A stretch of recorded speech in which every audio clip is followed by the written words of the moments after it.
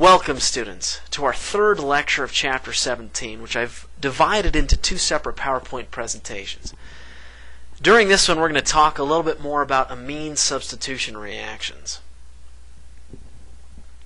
After studying the second part of this chapter, you should be able to know how to use the Gabriel synthesis and hydrogenation of alkyl azides to make primary amines, know the mechanism and products of nitrile hydrolysis, know how to use nitrile hydrogenation to make primary amines, know how to activate carboxylic acids, and apply all of this knowledge to total synthesis. Each of these numbers, 17.18, 19, 20, and 21, are the sections in your textbook that cover each of these different topics. In this section, we will also learn about fats, oils, soaps, detergents, and micelles, and how nature activates carboxylic acids. We'll, of course, skip section 17.23. Back in chapter 10, we talked about how you can alkylate ammonia, NH3, shown here, to get primary amines like this.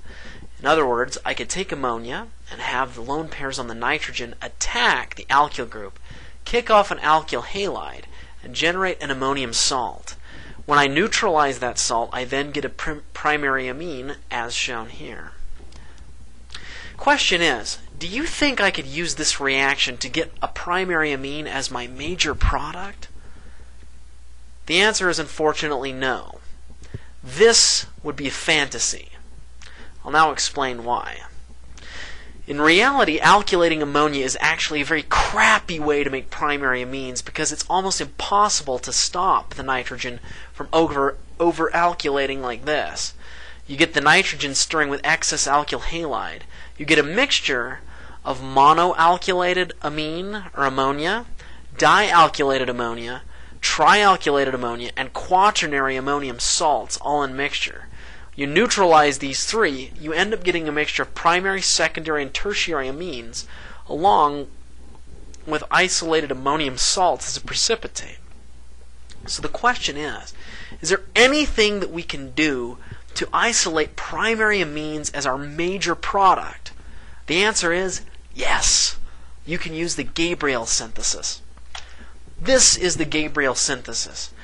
We begin with this compound, which is called phthalimide. I love how there's a pH and a TH next to each other. I wish we could have more pHs and THs next to each other more frequently. We could call it alimide. In any event, you start with phthalimide and treat it with hydroxide base. This deprotonates the nitrogen here, giving you a nitrogen anion. When this is stirred with alkyl halide, this nitrogen anion then attacks the alkyl group kicks off the halogen and gives you a singly alkylated, a substituted imide intermediate. Now look at this. You think this compound right here is going to alkylate that nitrogen more than once? The answer is no, not to a, any large extent anyway. As it turns out, you can take this intermediate, treat it with acid, water, and heat, and then liberate phthalic acid and this ammonium salt that has a single alkyl group attached to the nitrogen. When neutralized with base, that gives you a primary amine as your exclusive major product. Now I've got a question. What alkyl bromide would you use in a Gabriel synthesis to prepare each of the following amines? As I'm going to discuss the answers to these questions on the next slide, it might be advisable for you to pause here and see if you can do them on your own. Here are the answers. The first amine in the question that I want to get is pentylamine. How would I do this using a Gabriel synthesis? Well, of course, I would begin with phthalimide. I would treat it with hydroxide. This hydroxide deprotonates the nitrogen, giving me a nitrogen anion. Because I want to end up with pentylamine, I'm going to react it with pentyl bromide. This then makes it so that the nitrogen anion attacks the carbon bound to the bromine and kicks off bromide as a leaving group, giving me this intermediate. When I take this intermediate and react it with acid, water, and heat, it liberates my primary amine as the major product. So what's the summary of this reaction? The overall reaction is phthalimide reacted in step 1 with hydroxide and pentylamine, and step 2 acid, water, and heat. As we address the other sub or the other questions, we could basically do the exact same thing. All we have to do is alternate the identity of the alkyl bromide that we're adding to match the product that we want. The second question asks how we could get isohexylamine. So I'm going to stir phthalimide, step 1 with hydroxide and isohexyl bromide, and step 2 HCl water and heat to liberate the primary amine as isohexylamine. The next question asks how I could get benzylamine.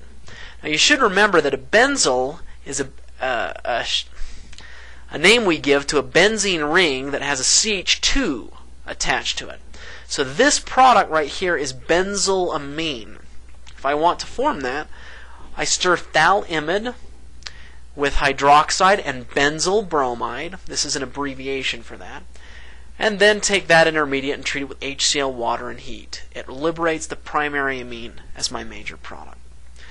The last one is to treat phthalimide with hydroxide and cyclohexyl bromide, followed by HCl water and heat to liberate my primary cyclohexylamine as the major product. As it turns out, there are other ways of making primary amines. This is a great way. What you can do is take an alkyl halide, like this alkyl bromide, and treat it with this compound, sodium azide, NaN3. Azide is actually an N3 with the minus charge on one of the nitrogens. It displaces the bromide to give this, which is called an alkyl azide. If you take that alkyl azide, which I've drawn the full structure here, and react it with hydrogen and palladium carbon, it will hydrogenate this nitrogen and leave you your primary amine exclusively. Another great way of making carboxylic acids is to hydrolyze nitriles. Here's the overall reaction. If I take a nitrile, as shown here, and I treat it with acid, water, and heat, I can convert this carbon from a nitrile carbon into a carboxylic acid carbon. Now you guys might have forgotten from earlier how to even make a nitrile. A very great way of doing it is by taking an alkyl bromide and treating it with cyanide nucleophile. The carb uh, the negatively charged carbon comes in, kicks off the bromide leaving group, and gives you your nitrile. So this is an excellent way to take alkyl bromides and convert them in two steps to carboxylic acids. Here's a poorly drawn mechanism of nitrile hydrolysis, which I borrowed from our textbook. I'm not going to cover these verbally, but I invite you to look at this mechanism yourselves, and if you have any questions, you can address uh, me in class. Another way of making primary amines is to hydrogenate a nitrile. In order to hydrogenate a nitrile down to a primary amine, I don't use palladium carbon as I would an azide. Instead, I use hydrogen gas and Raney nickel. Now I want to teach you how to activate carboxylic acids. As we've discussed earlier in this chapter, OHs aren't the best leaving groups.